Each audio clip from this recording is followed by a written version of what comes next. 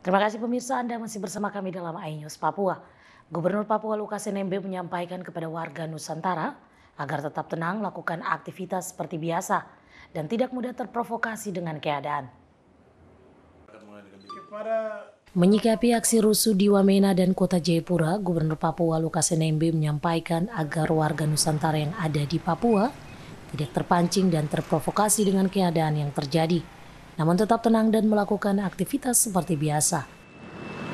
Kepada orang Papua, penduduk Papua, kelompok Nusantara di seluruh tanah Papua, jangan dengan terpancing dengan keadaan ini. Saudara tenang,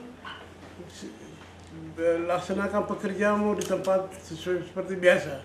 Jangan terganggu dengan situasi ini. Jangan kau ter, jangan terprovokasi dengan keadaan ini.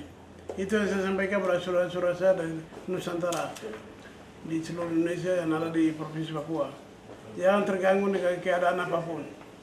Pak Gub tadi Pak Gub ada sempat bilang mahasiswa yang melakukan Selain itu, Gubernur juga menyampaikan masyarakat Papua juga tetap tenang dan tidak melakukan tindakan-tindakan yang dapat memperkeruh suasana di Papua.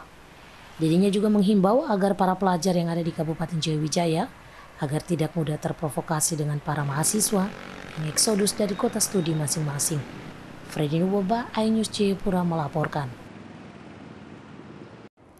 Gubernur Papua tegaskan mahasiswa Papua yang dibiayai oleh dana otsus yang ikut eksodus ke Papua dari kota studi akan dihentikan.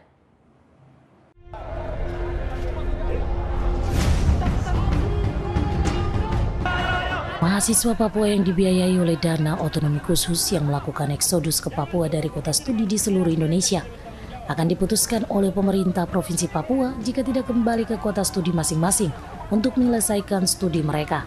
Hal tersebut ditegaskan Gubernur Papua Lukas NMB di Gedung Negara belum lama ini. Sudah kembali kita 300 ya.